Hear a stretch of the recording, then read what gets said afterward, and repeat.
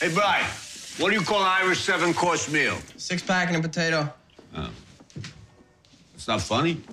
I heard it.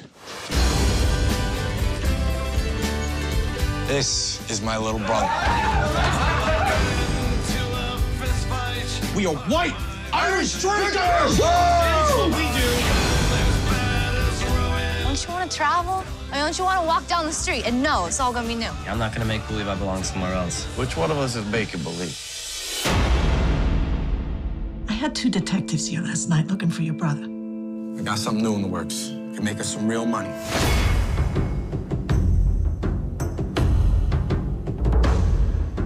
Liquor Central gets a shipment in every Saturday night, so if we hit him on a Sunday, we can clean him out.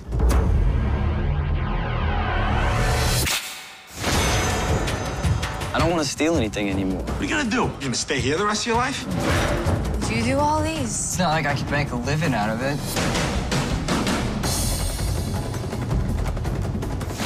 You thief now? I should have let you rot in there. What kind of trouble are you in? If you came to me like this, you think I'd say no? I don't come to you like this. It's because you got no loyalty. Bum is what you are. That's what you turn out to be a bum. You understand? No matter how hard I try, I'm never gonna be like you, Danny.